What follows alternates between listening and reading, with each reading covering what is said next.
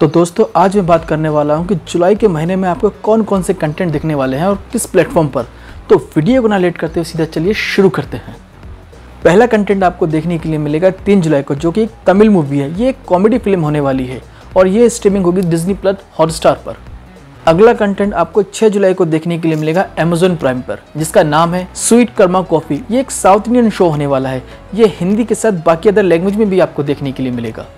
सात जुलाई को बहुत से कंटेंट रिलीज़ होने वाले हैं थिएटर के साथ ओ पर। तो पहले कंटेंट की बात करते हैं जो सात जुलाई को आपको देखने के लिए मिलेगा।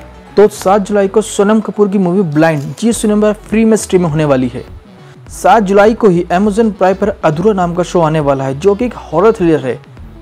इसका ट्रेलर तो मुझे काफ़ी पसंद आया है, अब देखना शो कैसा होने वाला है। सात जुलाई को ही विद्युत जामवाल की मूवी आई वी आपको डिज्नी प्लस हॉटस्टार पर देखने के लिए मिल जाएगी। सात जुलाई को ही थिएटर में रिलीज़ होगी विद्या बालन स्टारा नियत।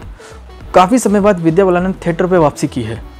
सात जुलाई को ही बहत्तर हुए मूवी आपको थिएटर में देखने के लिए मिल जाएगी। सात जुलाई को ही हॉलीवुड की तरफ़ से एक हॉरर मूवी रिलीज़ होगी, जिसका नाम है इंसीडियस दस रेड डॉर ये इंसिडेंट सीरीज़ का फिफ्थ पार्ट होने वाला है। ये हिंदी के साथ बाकी अदर लैंग्वेज में भी देखने के लिए मिलेगी। 12 जुलाई को ही टॉम क्रूज की spy thriller mission impossible dead cooking का फ़र्स्ट पार्ट देखने के लिए मिलेगा। इंग्लिश के साथ बाकी अदर लैंग्वेज में भी। टॉम क्रूज का ये एक्शन देखने के लिए। चौदह तारीख को काजल स्टारा शो ट्रायल आपको देखने के लिए मिल जाएगा डिज्नी प्लस हॉट पर। यह एक कॉटरूम ड्रामा होने वाला है। चौदह तारीख को थिएटर में रिलीज़ होगी अजमेर 92 ये एक ट्रू स्टोरी पर बेस्ट है। यही कुछ कंटेंट है जिसके बारे में मुझे आपको बताना था। अगर आपको ये वीडियो पसंद आया तो चैनल को लाइक सब्सक्राइब एंड शेयर ज़रूर करें। मिलते हैं अगले वीडियो में।